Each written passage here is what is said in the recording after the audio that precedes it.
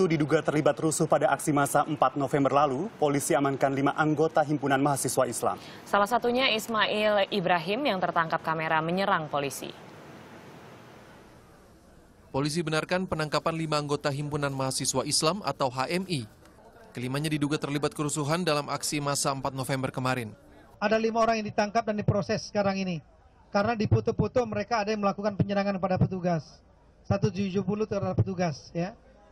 Nanti kita akan kembangkan apakah ada kaitan dengan tokoh-tokoh yang mungkin menyuruh mereka untuk melakukan kekerasan itu.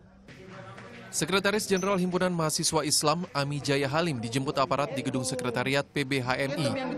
Dialog sempat terjadi sebelum akhirnya Ami Jaya dibawa ke Polda Metro Jaya selasa dini hari. Sementara satu dari empat anggota lainnya diketahui bernama Ismail Ibrahim. Mahasiswa FISIP jurusan sosiologi yang tertangkap kamera menyerang barikade polisi. Sabtu lalu pengurus besar HMI bantah tuduhan sebagai provokator ricuh. HMI mengelak kadernya terlibat. Pertama, eh, nanti jam 3 kita akan kumpulkan eh, para kuasa hukum di sekretariat ini. Kemudian kita kirim surat juga ke Kompolnas sama ke Komnas HAM. Juga kita sudah kontak Komisi 3, insya Allah Komisi 3 nanti jam 3 informasinya dia akan ke Polda. Itu langkah-langkah hukum sementara yang akan kita tempuh. Kelima anggota HMI kini diperiksa intensif penyidik Polda Metro Jaya.